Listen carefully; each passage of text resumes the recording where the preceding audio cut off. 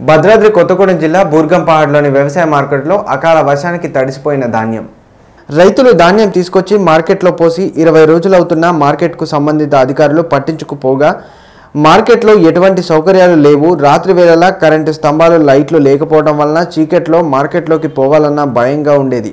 ఒకరోజు మార్కెట్లోకి త్రాసుపాము రావడంతో రైతులంతా భయాందోళనకు గురయ్యారు.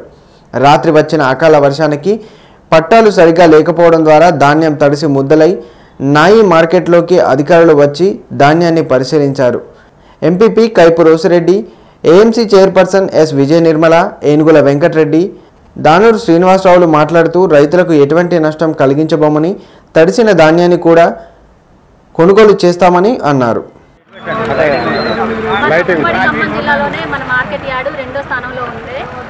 మనం భద్రాద్రి కొత్తగూడెం జిల్లా ఏర్పడిన తర్వాత మనం బూర్గపాడు మార్కెట్ కమిటీ ఈ మొదటి స్థానంలో ఉంది. అధిక రైతులు ఇక్కడే ఉన్నారు. ఎక్కువ ప్యాడీ కానీ కాటన్ కానీ మన మార్కెట్కే వస్తుంది. కాబట్టి మన రైతులు ఎవ్వరు కూడా నష్టపోకుండా ప్రతి ఒక్క గింజను కూడా కొనడానికి మన ప్రభుత్వం ఉంది. కాబట్టి ఎవరు అధైర్యపడవద్దు ఎవరు ఇబ్బంది పడవద్దు దయచేసి కోరుకునేది అదే. ఇప్పుడేదో చిన్న వర్షంతో వెళ్ళిపోయింది. మళ్ళీ ముందు ఇలా జరగకుండా మన ప్రభుత్వం అందరికీ తగిన సౌకర్యాలు అన్ని విధాలుగా